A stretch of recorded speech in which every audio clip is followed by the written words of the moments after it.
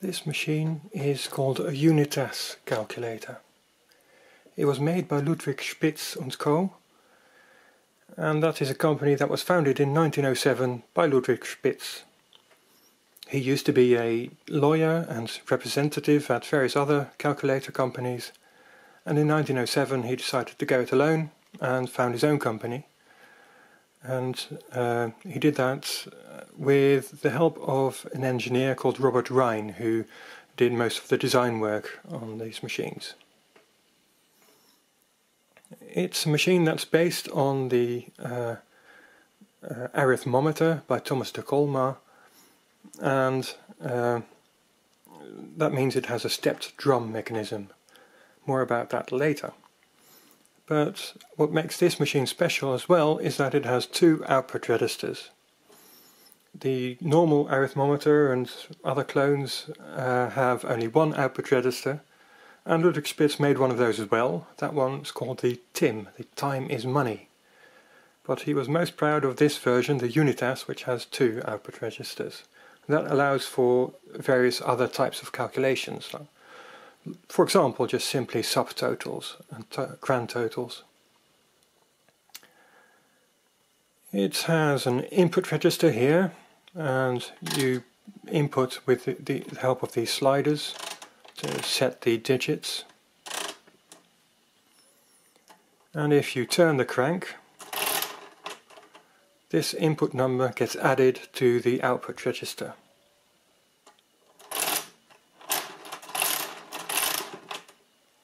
I've now turned the crank uh, four times and that means the number you see here is four times this input.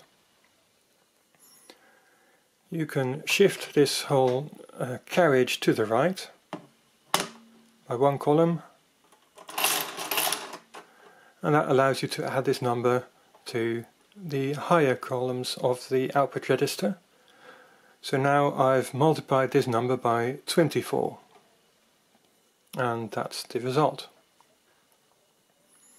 You can also subtract, let me just shift this back, this lever here, that uh, now allows you to subtract this number from the uh, register. So now I've only multiplied it by 23 times.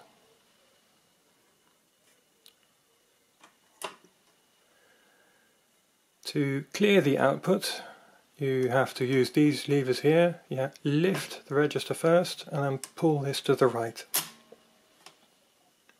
And this register here, or this lever here, that clears this register which is the revolution counter.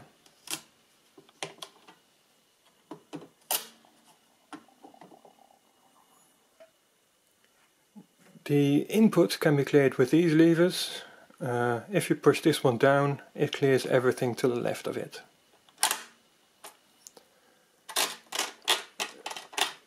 You, if you push any of these other levers down, it clears everything to the left of it. So, and this allows you to use uh, part of this input for other things. If you pu pull the uh, lever, the clearing lever up, it clears everything to the right of it. So you can, for example, uh, use this top column by putting a, a 1 in it, and then the digits here in this output register act as a revolution counter. That'll be slightly better than this revolution counter because this one doesn't actually do any carries. Let me show you an example. If I uh, shift this to the right once, and then put it back and subtract 1. Now I've essentially multiplied this by 9 and yeah you can see a 9 here but this revolution counter actually says a 1 and a minus 1 so it's actually 10 minus 1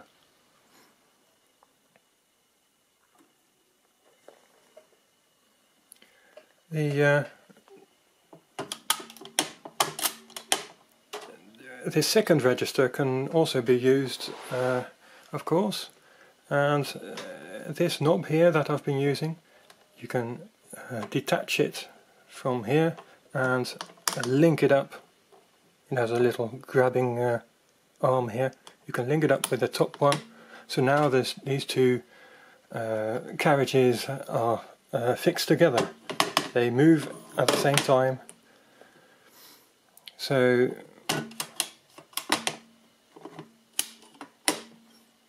so now if you uh, do a calculation, it, it'll uh, the, yeah the two carriages move in concert.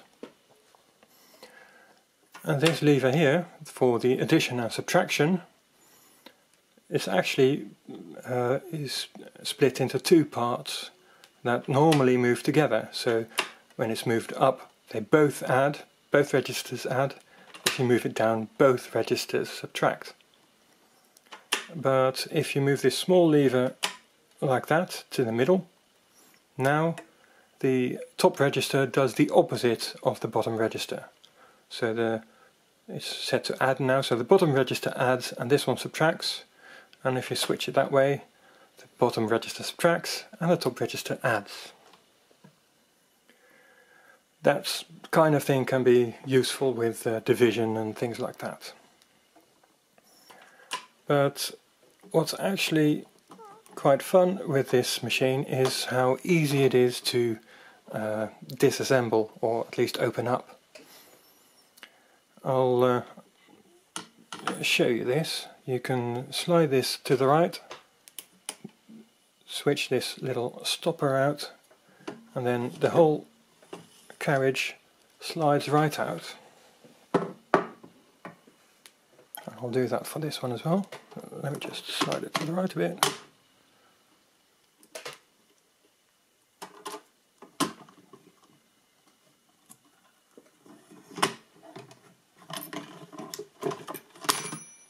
There we go. And this uh, this handle comes off as well. And there are these four small uh, locking uh, switches here. The one on the bottom right is actually missing on mine. And now I can take off this front there are several uh, uh, serial numbers here. On the front here you see 2014. That's that's a shared number that's on all the parts. There's a 2014 here. There's a 2014, uh, let's see, right there. And there's a 2014, right there.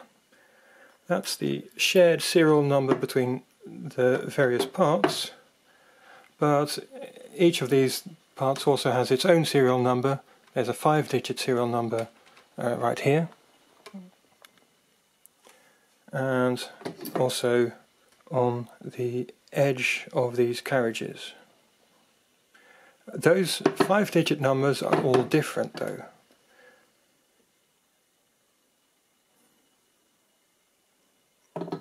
Nevertheless, the numbers are all pretty low and I think that may, means that this machine was made in around 1912.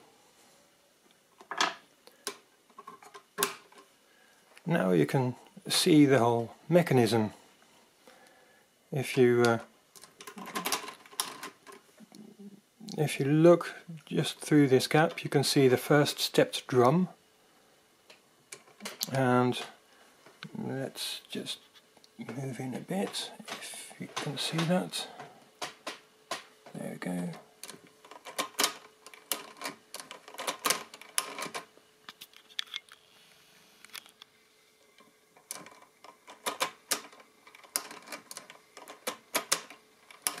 Yeah, it's a bit hard to see, it's rather, rather dark. But uh, yeah, the, the lever, the input lever slider it shifts a little cog uh, along the step drum that's just behind it.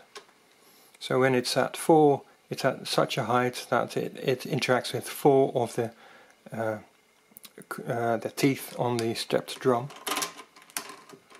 And uh, yeah, depending on the, the position, it interacts with more or less of those those ridges, those teeth on the drum. Um, you can also see the carriage, the carry mechanism here. If I uh, if I click this down, you'll see that after a bit, one of the uh, pointy tooth on that, that uh, arm causes the next one to click one step further. Let me do that one more time. Because pushing this down causes that uh, tooth to shift into the, the way of this uh, cog there. If you don't push that down, it's it goes just underneath it here and doesn't interact. So uh, if you turn it with, with input, the stepped drums uh, drive these axes, uh, axles, and uh, yeah, that causes the uh, digits to uh, yeah to move. The lever here, you'll see what that does. That shifts all these cogs all these gears up or down. The registers have uh, wheels and so they uh, they can be reached on this side or on this side. So when you have uh, two wheels like this and this axle drives uh, clockwise, then either it and it interacts with uh, with a machine with a output register on, on one one end or on the other end. So now it, it drives at this end, causing the the wheel to move clockwise, and now it drives it at the other end, causing it to move anti-clockwise. And on the left here you see a bell and that gets rung if there's a carry on the topmost position.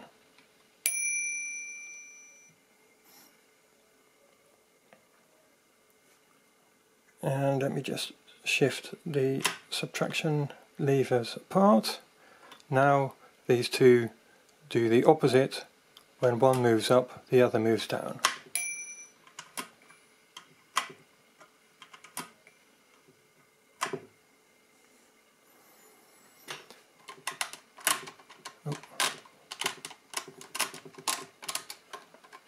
So it's quite fun to see how the uh, the the action on each of these axles is uh, done in sequence, so it moves like a kind of a wave along, and that's the reason for that is that you need the carries to be able to go from the lowest number all the way to the highest. You know, if you have 999 in the register, you want if if the last the first digit increases, it has to have the carry to the next, and so on to the next. So all the action has to go from right to left. And yeah, you'll also see that if you uh, if you have a carry, it occurs immediately uh, the next step after all the yeah the input digit has been added. The next step is immediately that carry that times exactly directly after it. Yeah, so that's the uh, Unitas calculator by Ludwig Spitz & Co. Thank you for watching.